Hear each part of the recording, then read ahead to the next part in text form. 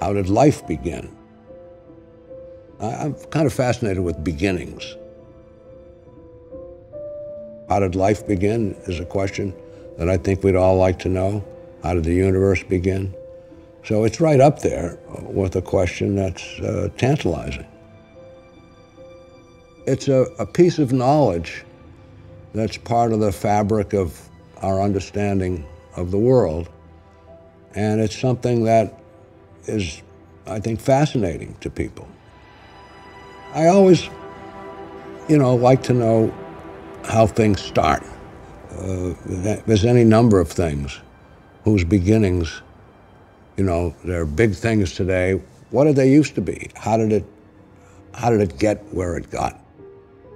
I like building things. I like to know, well, how did things start? Well, the universe is one of those things. I think the, uh, the impact of the Simons Observatory is that it will reveal to us what really happened to the universe 13.8 billion years ago. Did it have a beginning, springing from some wild quantum turbulent state? Or what really happened is it underwent a bounce. It was originally contracting and then simply began to expand due to some phenomena that occur when it became very dense. Why is all that important? Well, because not only tells us about where the universe came from, but where it's going.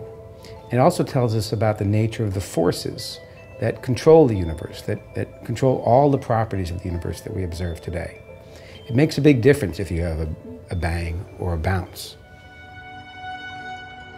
For the Simons Observatory, on the top of the mountain, we're going to install several telescopes of two different kinds. One is the so-called large telescope. It's got a six meter diameter mirror, and it's going to be about four stories tall. It'll have a little elevator in it. It's a pretty big object.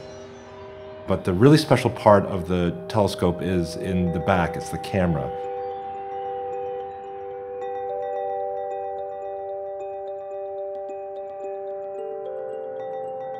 Can the technology match the question? I mean, that's exactly what we do in our research. We've known for a long time the signal levels that we're looking for, they're very small, order 10 nanokelvin. And so we know what kind of instrument we would have to build to be able to even approach that kind of signal size.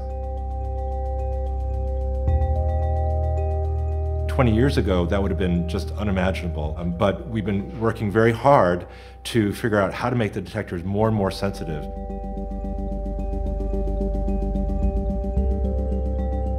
and these lithographic techniques where we're building now wafers like you would build a computer processor. And just like with computer processors, we're putting more and more features into these silicon wafers where we can put even some of the optical elements that was previously little lenses or, um, or macroscopic parts that you would machine. They're now all integrated on this planar uh, silicon wafer. And that's really created an explosion in sensitivity for our field.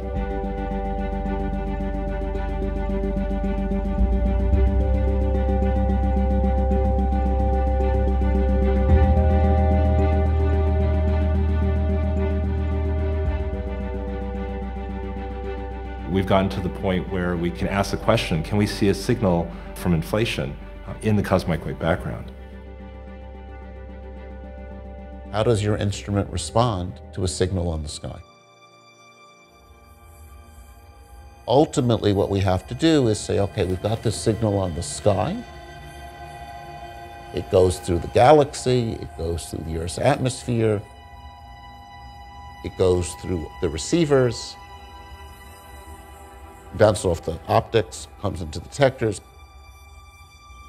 and we get a signal, a digital signal that we record, and we then have to convert that digital signal back into a map of what's on the sky.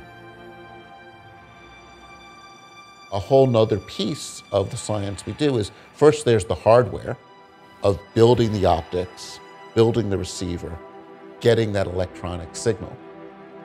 And then we've got to build the software so we can use our computers to take that electronic signal, convert it back to an image of what we actually think the sky looks like.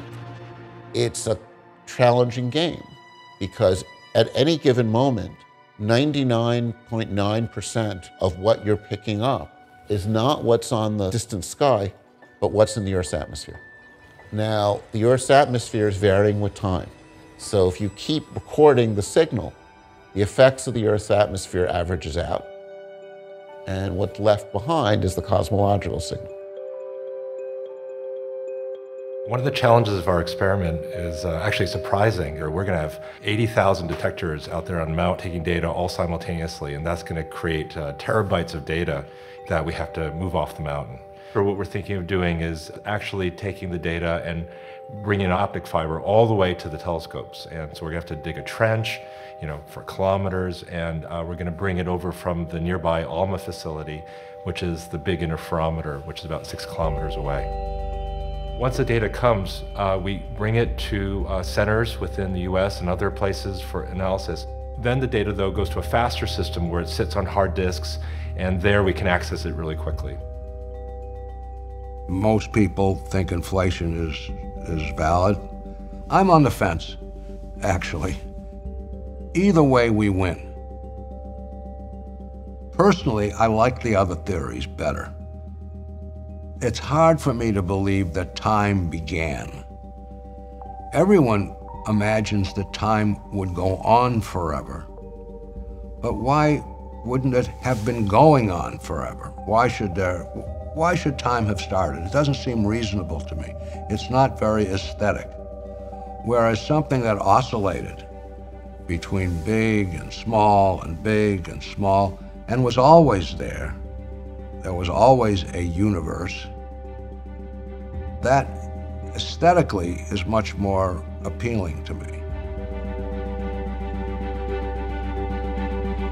What else can I tell you? Some people say that Galileo was not only the first astronomer to use a telescope in history, which is certainly seems to be the case, but that he was actually the first scientist of any kind to use the scientific method, where one has a hypothesis, perhaps tests that hypothesis, uses data, refines things about it, and throws away the parts that don't comport with the observations that he made.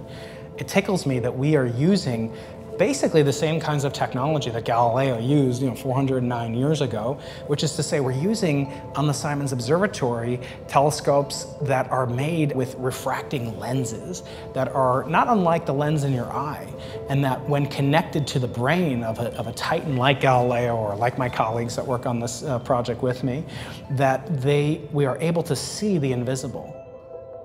Well, I'm very excited about it. We, are supposed to see first light in three years, I think. I can't wait. I, am really excited.